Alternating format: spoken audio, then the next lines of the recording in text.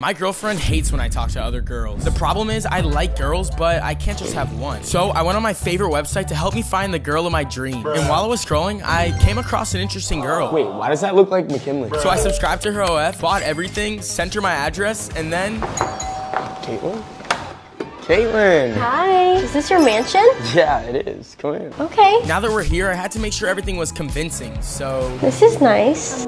A room. Yeah, we can Netflix and chill in here. Okay. There's no Netflix app. Okay. And then this is the living room and kitchen. Yeah, this is the backyard. Fun. Ever been skinny dipping? No? Today might be your first time. Okay. so I took her to my room to film some OF content when What's going on in here? Nothing. What? Bro, get out of my bed. Sorry, I didn't know. Oh my god. Who is this? Hey, subscribe if I should drop that OF video.